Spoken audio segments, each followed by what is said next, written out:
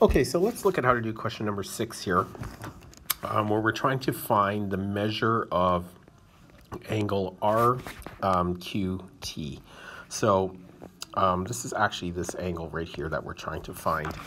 So the first thing we need to know is um, that we have some triangles here, PQR being the big triangle, and then we have a line um, QS which cuts across so from that, what can we um, start to deduce for angles here? Well, the first thing we know is that these two, sorry, these two lines here are parallel, um, indicated by the arrows. Okay, so that means that we have a transversal that comes across those two parallel lines. So if I mark um, this angle here 36, I'll mark this with two slashes. This is actually going to be equal to that angle right here um, angle PQT. So angle PQT is also equal to 36. The reasoning behind that is because when a uh, transversal cuts two parallel lines, this is an alternate interior angle, which we know are equal. So that, therefore, we can say that's 36. Now, what else do we know here? Well, we know that we have this triangle, um, which is P QR, this large triangle.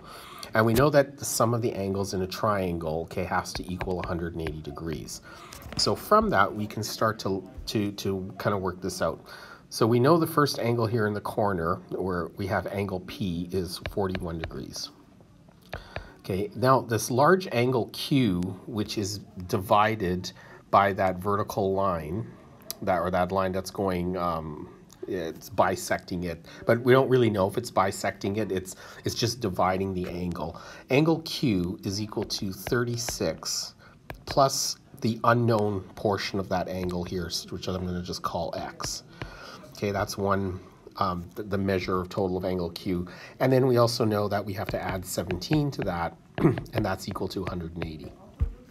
So using this um, formula, we can deduce that x is going to be equal to 180, and then we're going to subtract 41, subtract 36, and subtract 17, and that's going to give us an angle of um, 180.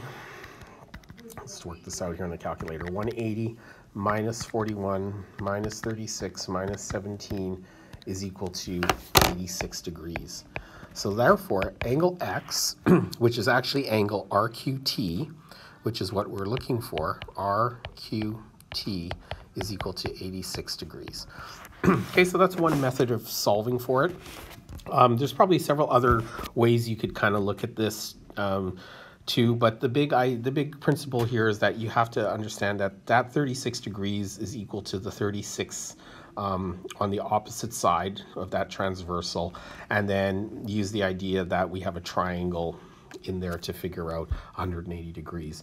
Now remember, there's that dividing line actually makes two triangles. There's like a small one here, and then there's that the other one there, and then there's the big one. So there's probably lots of combinations that you kind of work through to figure out the unknown angles, but that's one way that you can get to it really quickly.